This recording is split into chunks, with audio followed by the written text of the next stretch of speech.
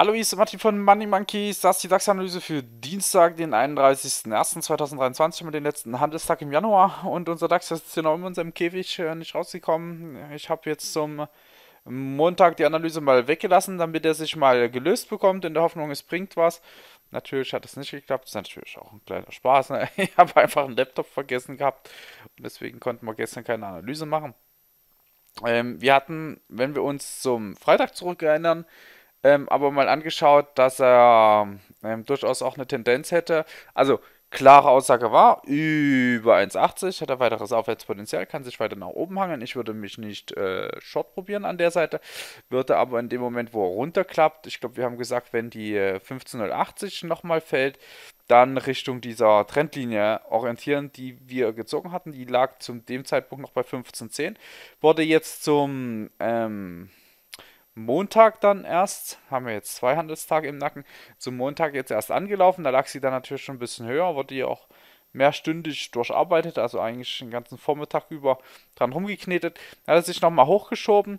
Man muss aber sagen, hat ja relativ viele Abverkäufe auch wieder gehalten. Und vom Bewegungsmuster muss man auch weiterhin festhalten, dass es noch immer ein sehr korrektiver Anstieg ist. Also äh, wir haben Steigungswinkel auf den Hochs, wir haben Steigungswinkel auf den Tiefs.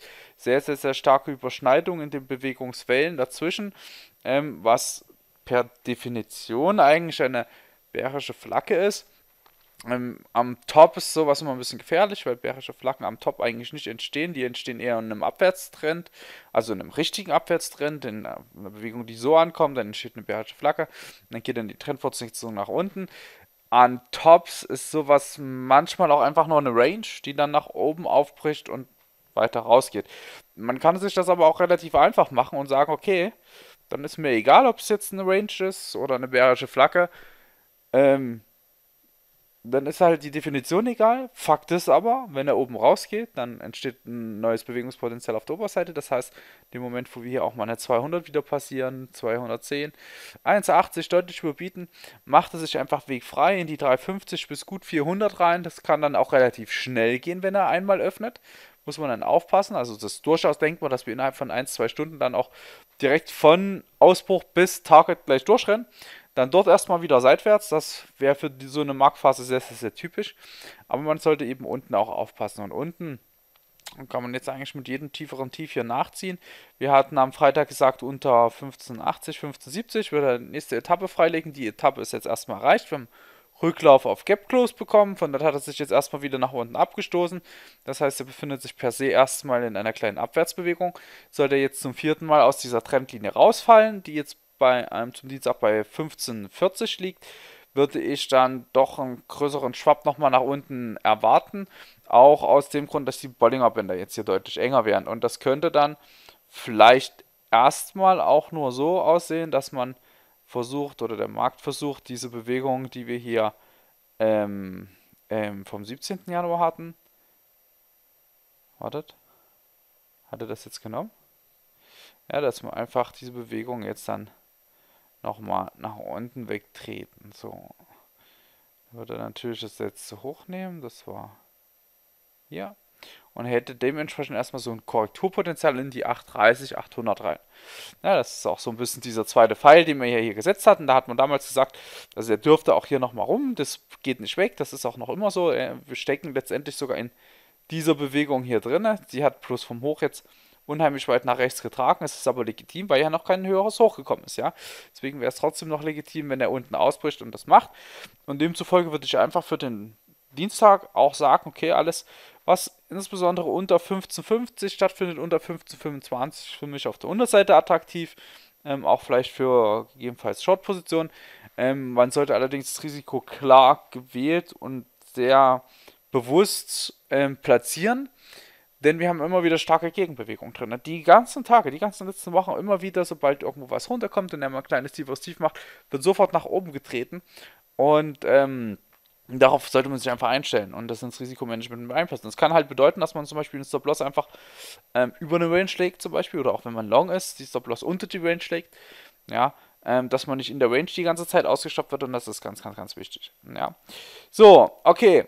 Dann äh, haben wir das besprochen. Also unter 15,30, 15,25, 15,50. Ja, also einfach die Zone da durch. Dann wieder Platz bis äh, zum Tief vom Montag. Das würde aber dann bestimmt unterbieten. Und dann geht er auf die 9,65, 9,40, vielleicht sogar mal hier so in den Bereich um 9,25 schon mal rein. Also auf die Schlusskurskerzenniveaus von, von dem Haufen hier. Und wenn er richtig gut drauf ist und am Nachmittag auch noch tiefst nachliefert, dann sind sogar auch 8,30, 8,20 drin. Ja. Stabilisiert er hier einfach wieder nur nach oben im Bereich um 15100 bis, ja, oder sagen wir mal ruhig, so 1570, 1550, 1530, 1525. Die Knautschzone hier zwischen unterem Band und unserer, unserer Keillinie oder Flaggenlinie. Ähm, dreht er sich von dort einfach wieder nur hoch. Was wird er machen? Er wird wieder hoch an die 15.180 laufen. Ja, also das heißt, sehen wir stärker, lassen wir ihm nach oben Platz, bricht er uns oben aus, darf er auch gerne weiter. Wie gesagt, das kann ganz, das kann recht schnell erfolgen. Ähm, würde ich dann aber eher vielleicht am Mittwoch erwarten. Na, wenn wir mal so auf den Terminkalender gucken, wird es am Mittwoch besser reinpassen. Oder wäre einfach üblicher, wenn der oben rausfliegt. Aber muss nichts. Alles kann, nichts muss. Von daher, wir gucken, wo geht er raus, was triggert er uns zuerst an. Triggert er uns zuerst in 1570, 1550, 1530, 1525 nach unten durch dann äh, kriegt er sein Fenster schon unten, legt da vorher die 15.180 nach oben um, wissen wir auch Bescheid. Ne? Und von daher ist jetzt nichts Neues dabei, das haben alles jetzt schon dreimal gehört, drei Tage gehört. Aber ja, muss manchmal doch mal nochmal gesagt sein. Ne? Der ein oder andere vergisst schon über den Tag wieder, was ja eigentlich Phase ist, wo es denn lang gehen soll. Aber wir stehen seit gut zwei Wochen auf der Stelle. Solange sich das erstmal nicht ändert, sollte man auch nicht erwarten, dass sich das ändert. So. Gut, Freunde. Okay, dann mache ich hier die Analyse zu.